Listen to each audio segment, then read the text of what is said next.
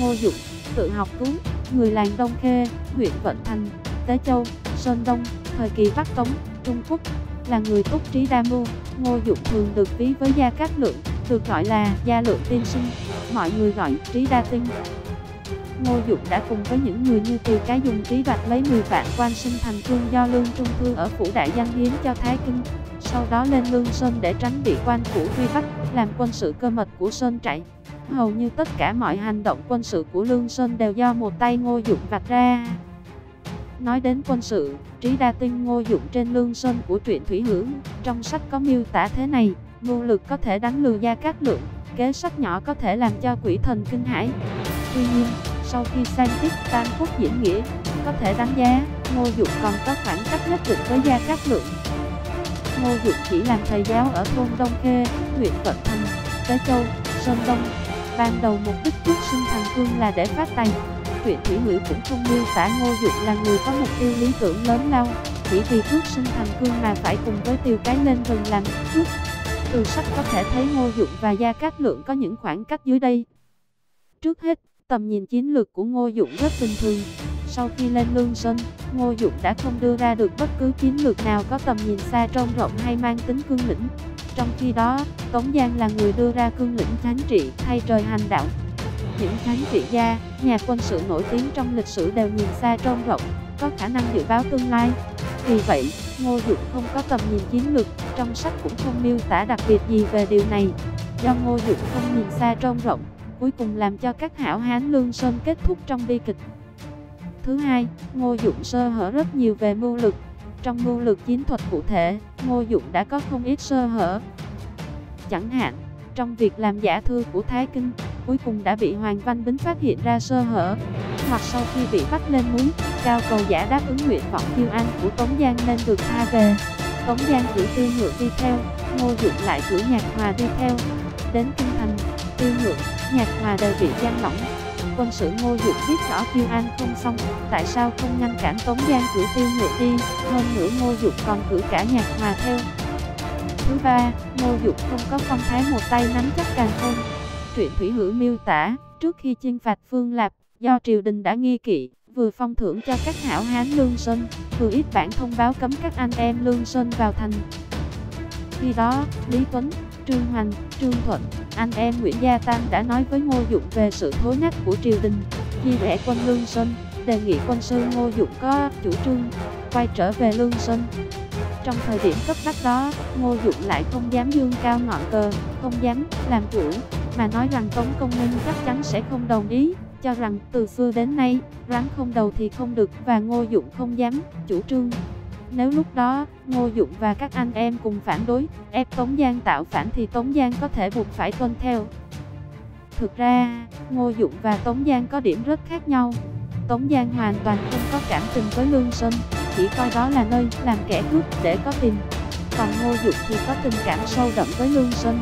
Cái chết tự vẫn của Ngô Dụng sau này mang màu sắc bi kịch hơn Gia các Lượng.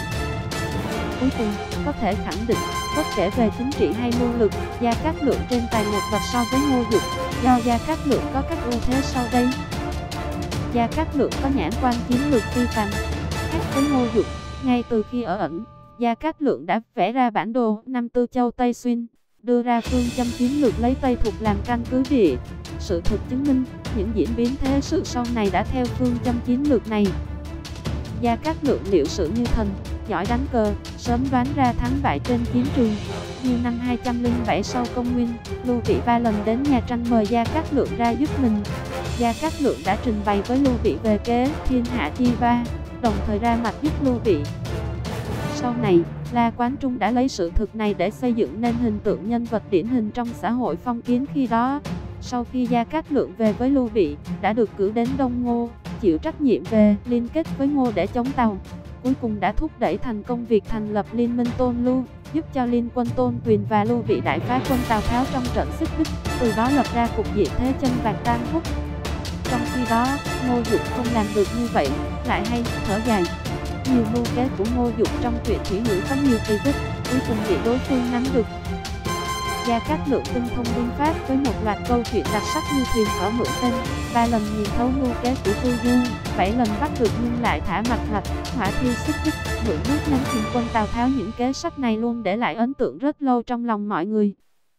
Gia Cát Lượng được miêu tả là người cơ trí, rộng rãi, giỏi bày mưu tính kế và hành động, luôn là hóa thân của trí tuệ, hơn nữa lại có tình có nghĩa. Gia Cát Lượng khổng minh cả đời dùng binh thận trọng, chắc chắn, rất ít để tổn thất đại tướng.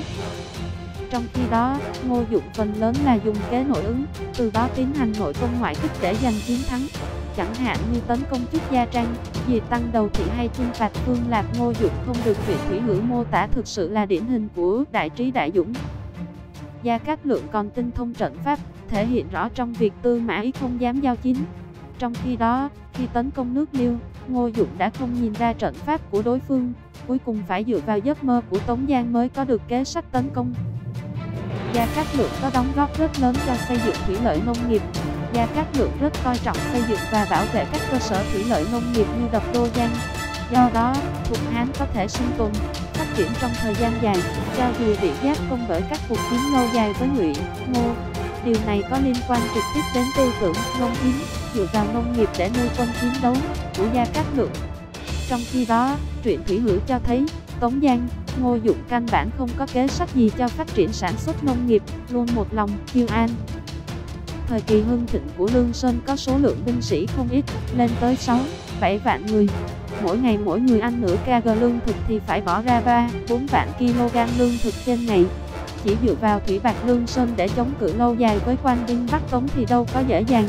Các hảo hán Lương Sơn không có lối thoát, cuối cùng phải đi theo Tống Giang, Ngô Dụng để chiêu an.